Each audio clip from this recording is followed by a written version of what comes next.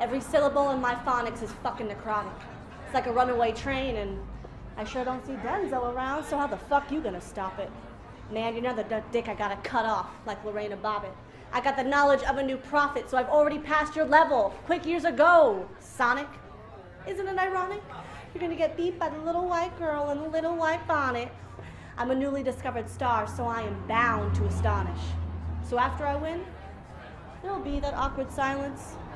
And then what? You'll probably proceed to changing the topic, bitching and crying about how much it hurts, because my verses are toxic. Like I'm forensic and I'm black, so I should win.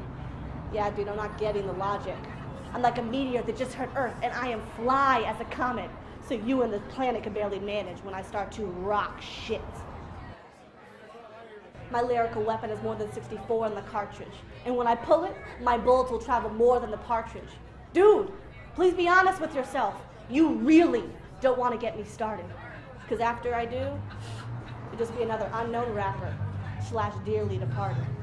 Truthfully, lyrically, I'm off the hook like Nintendo Wii, known to tickle the ivory and no problem to send a key. And when I'm known like the guys, shit, I'll get blown in this industry.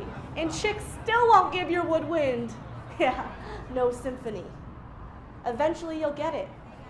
I'm the best. I mean, damn, I just said it. I'm effective as contraceptives, and this chick has never been pregnant. This is battle as hot as hell. Naturally, I'm a blessed. I'm sick as an anorexic and a new zombie pill, and damn, I've been infected. I'm way more than expected. Ooh, I got bars for life. Ooh, just sneeze and I'll squeeze like the jaws of life. Baby, I am far from nice, but I shine like the stars and lights. I may be a girl, but uh, I could rumble like old cars and bikes. this dumbass knows every synonym is killing him.